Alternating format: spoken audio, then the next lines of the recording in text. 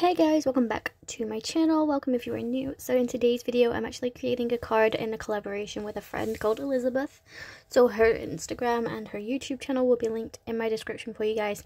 So we both bought the classic Christmas tree die from Simon Hurley. Um, and I noticed that there's not that much like inspiration of pictures out there yet. And I don't know if it's because, you know, it is still quite new. Um, or whatnot, but I thought it would be quite fun to, you know, come in and basically give you some more inspiration for this classic Christmas tree. So I think Elizabeth will probably go with a classic green Christmas tree because her favorite color is green. I wanted to go a little bit differently, so I decided to bring in my S&N girl from Sweet Novembers to go with this. Um, just so it looks like she's decorating the Christmas tree. You know, she's just about to put some Candie canes on there. So this is the S&N Girl candy. Um, and instead of going for the classic green Christmas tree, I decided to go with a gray, silver, and white Christmas tree. So I actually used some glitter cardstock from, I believe it's Altenew yeah, it's Altenew and it's called the... I have no idea. what color, what color cardstock is this? It is the Glitter Milky Way cardstocks. You get different color cardstocks with glitter effects, um, and they're all 110 pounds. So, so we have Black Diamond, Sapphire, in in I can't say.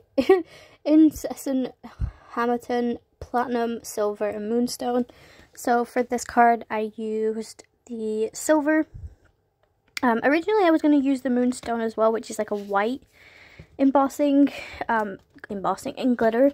Um, but I didn't want to add too much glitter into this card. The only thing I don't understand is with my heat embossing with glitter, um, it just never seems to let me see the wording properly. So my wording always gets smudged somehow. So I don't know why that is. So if you guys have a similar experience or you know what I'm doing wrong, then let me know. So one of the parts of the collab with Elizabeth, we both said that we wanted to incorporate embossing somehow. Because again, like I said, a lot of people do struggle with it, me included. Like, I have my good days and my bad days. So so the two things on my card that are embossed are actually my sentiment and then also the snowflake on her jumper because I thought it was super cute. Um, but yeah, I hope you guys enjoy. Everything I used will be linked in my description for you guys. Um, I did actually post this card yesterday when it wasn't even like fully colored or anything um, because I couldn't decide on whether or not to like have a patterned wallpaper, have anything. A lot of people told me just to leave it blank, but I'm not that person. I cannot deal with too much white space. It drives me insane. So I ended up going with a pink background with some tone-on-tone -tone candy canes in the background. And then for my carpet, I went with just a neutral colour. And I used a stamp from another Sweet November background stamp to add in that like fluffy texturing.